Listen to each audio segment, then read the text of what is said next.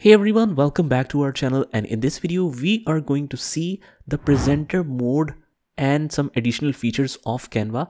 So if this is the first video you're watching on our channel about Canva, we have a complete playlist that you can check out from the description. So without wasting any time, let's get started with this video.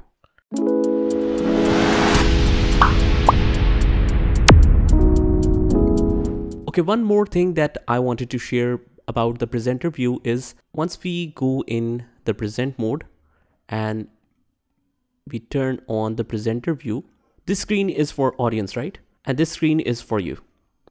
So let me just open it side by side. So we are going to learn about some more functions that the presenter view offers. These are some magic shortcuts. If you want to set the timer, let's say if you have given a task to the, your audience, here's a timer that will flash up for the audience. And it's a nice visualization uh, that you can use. You can set it manually as well. You can also use the blur functions. For example there are some of the parts uh, that accidentally displays on the projector and you don't want to display uh, that personal information or something like that. So you can use this blur feature for that.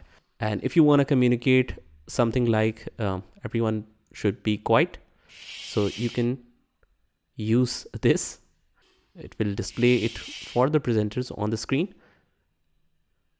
You can use some funny options as well like uh, bubbles. It will display these bubbles on the screen and some celebrations. Once you're complete with your presentation the drum roll if you want to reveal anything special the curtain call the mic drop. So these are kind of funny but uh, it is useful as you need it. And if we go in this options uh, it says hide magic cursor at the first. As you can see that this is a little circle kind of uh, cursor that everyone can see. But if you want to hide this magic cursor you can hide it from here. You can hide the live edits.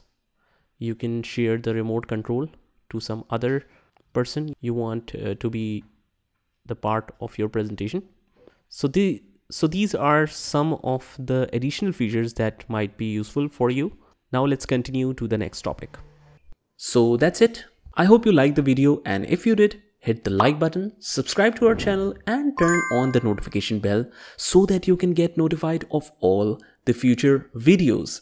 This is Saad signing off from today's video. Take care.